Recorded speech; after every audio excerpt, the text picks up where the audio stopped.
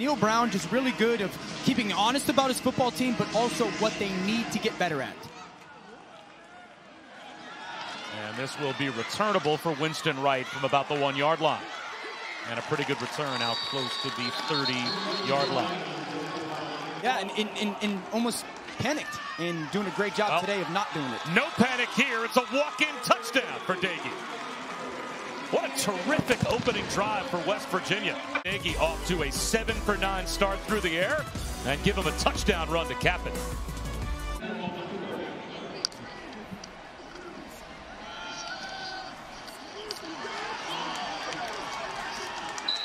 We might have a takeaway in our game as Jarret Doege pumped, got caught in the pocket, the ball knocked out by Terrel Bernard. A shot here, not there for Doege. Just watch the right arm coming right there. Swing by Bradley King. Gets that ball to Doege's hands, forces that fumble and turnover for this Baylor defense. Watch the right hand come through just as he's trying to tuck that ball away. The play wasn't there.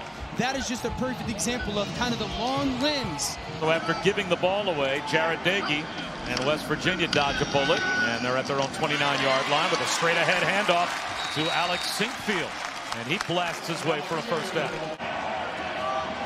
I think they could kick the ball out down here to this bunch set. Blitz off the edge. Doege doesn't see it. The ball is loose. Raleigh Texada came on a quarter blitz, and Doege had no idea. West Virginia, though, will recover the fumble. You're going to see the corner blitz from up top. Look it down here. Keep your eye on the, the bunch at the bottom of the screen. Here comes Petrie right there. He's supposed to be blitzing. And that hit from the corner, the corner blitz gets home. Handle it appropriately. Obviously a tough loss for New England. Charlie Brewer under pressure. He'll be sacked back at about the 10-yard line. And onto the field for their run-ons. Ball tipped down at the line. Off the quick hitter from Doege. And that's going to be a pick. A takeaway for Terrel Bernard. Number two, come out, jump right into the top of your screen. The athleticism to get up and hit that ball. And through all of it, he stayed because he believed in this program. Four-man rush. Doege. That's going to be intercepted. Picked off. Shaw T. JT Woods, pardon me, all the way down to the 30-yard line. by Baylor defensively. This linebacker is going to drop back. I want you to keep vision on this defender. Here comes this in route. That defender is too deep for you to throw that football. Watch, he sinks, he sinks, he sinks. And Jarret Doege forces the ball over the top. Great job in zone coverage of those defenders getting Andy in front of them and a big tall receiver wrapped behind them and have Charlie Brewer go low to high. That ball's got to get up high, face mask or higher, back to the end zone. Here comes the blitz. Brewer well protected. One-on-one in the end zone. R.J. Sneed. He's got it for a Baylor touchdown. Watch Sneed at the bottom of the screen, zero. He's got inside leverage, set him, and just continue to move back across that end line. The ball placement's really important. Up high by Charlie Brewer. Up high, coming into your living room right there, right at Sneed's face mask. Yeah, you're looking at me I like think you that weren't is buying a lack of discipline. It probably was. Right up the gut, Leddie Brown. Carrying tacklers out to midfield. And now it's fourth down and about six after a 20-yard run. JT Woods made the stop. Him strength, Dave Aranda, to be himself. You don't hear coaches say that a lot, and that was my favorite moment with him. Charlie Brewer. He's going to run and pick up a first down and more. 15-yard game for Brewer. He stops the clock, at least for the moment. 35 seconds. Only a three-man rush again. Brewer out of the pocket, tripped up from behind by Darius Stills. Rauschenberg from 51 yards. It's blocked. And that will end the half. A flag down as well. Charlie Brewer back in the shotgun from his own 19-yard line after 10 of 14 for only 90 yards in the first half for the senior quarterback. He's going to roll off play action here and do it with his legs. Slides with a 16-yard gain on the first play of the third quarter. Charlie Brewer on the edge uses a bootleg. And you can take that tight end if you want, but if you feel that defender follow, Brewer off play action, and he ends up underneath Darius Stills again. Rocky, that was the pair, Dante and Darius Stills, that we thought could be the big factor in this game, and they have been. That's why the bubble would protect that potential interaction between my family and I. Big play for Baylor here. Third down and five at midfield. Brewer tripped up behind the line. He goes down again. Third and 13. Only a three-man rush. So Brewer has all day. Nowhere to go with the football. And eventually he goes down. A three-man rush gets there, but a sack is followed by a flag. Actually marked him down after a gain of nine. So now Sinkfield gets outside, picks up the first down and more. Sinkfield down the sideline. Leddie Brown again. Did he get there? Right at the goal line. Is he in? Left arm come through. When I he think turns he's down. sideways, he's not Ball's down. That's a touchdown. Yeah, I think it's really close. I think he made it. Get him out of the pocket for sure and simplify his reads to get him to play faster. This is a two-man rush. And Brewer able to get one right to the first down marker.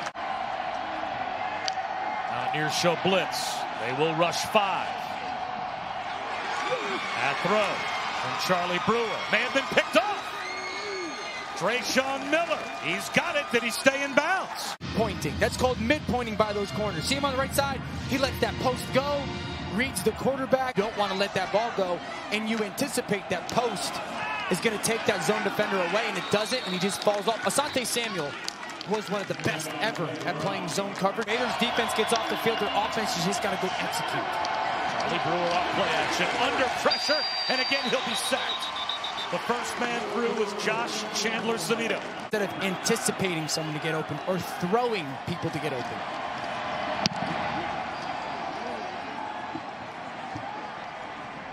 Very late. And a muff. A late fair catch signal from Sinkfield, and his own man ran into him. Comes up with the recovery. Watch Bryce Ford Wheaton right there. Just trying to do the right thing. Like he's trying to get inside of the Baylor player and shield him off. Come right from the right side of the screen right there. Shield him off from Sinkfield. And he's seconds up in this game. Get completions. Allow, force West Virginia to make the tackles. Brewer over the middle. He's got a man in stride. And walking into the end zone is Josh Fleeks with the touchdown. Great job by Brewer. You see that ball go in between those defenders. Fleek's doing a nice job of settling in that zone, throwing that ball with a little bit of arc on it.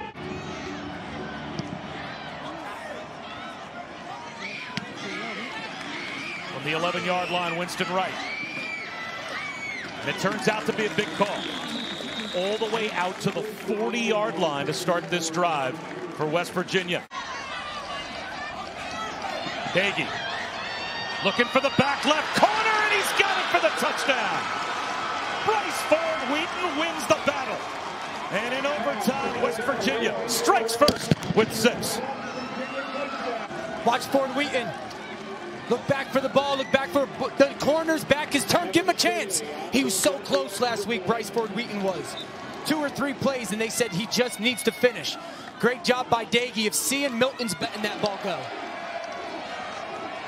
Brewer looking for the equalizer. He wants it all on one play, and he's got it.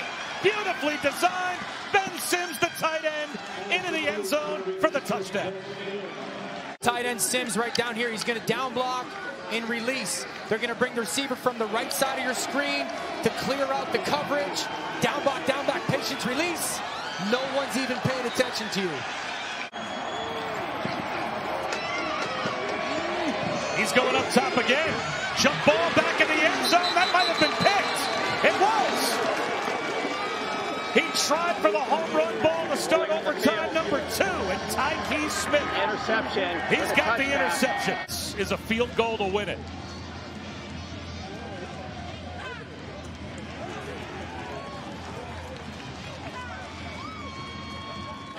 Third down and a yard. Leddie Brown, he's got the first down, he's got the end zone, he's got the game. Touchdown, West Virginia, and they win it in overtime. If your offensive line and your running back can take care of it for you. Yeah, they got dominant there. in that third overtime drive, second overtime drive, just became dominant. Third down and a yard.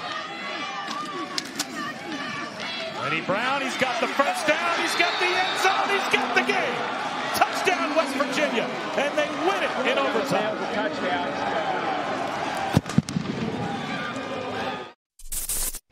Thanks for watching ESPN on YouTube. For live streaming sports and premium content, subscribe to ESPN Plus.